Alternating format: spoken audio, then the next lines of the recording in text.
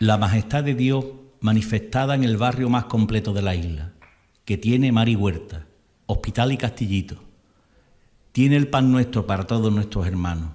En él duerme la constructora, se alarga hasta la glorieta con el panteón y los cuarteles y al frente siempre la cruz del perdón.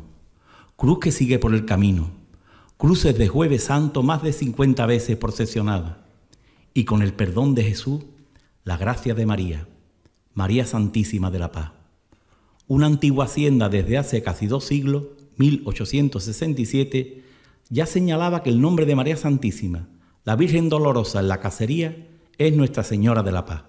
En tu día, un 24 de enero, recibí la cubierta de mi pregón, esas guardas verdes de esperanza, verdor aceitunero de mi cofradía, que es símbolo de tu paz en esa rama de olivo que se hace plata y nos ofrece en tu mano que suene el tío hermoso de tu marcha, esa que hicieron José Manuel y José Luis y que ahora toca la banda.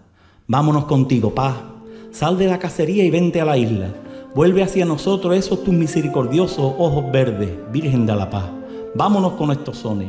Vivamos anticipadamente la salida de tu paso de palio y pidamos, ahora más que nunca, porque reine tu paz en el mundo, paz de un porvenir de la isla que viene por la cacería.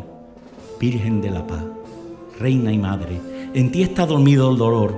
Eres causa de nuestra alegría, encerrando tanto amor que nos llena. Bendita seas, María. Que nos miren esos tus ojos a salir de la Inmaculada.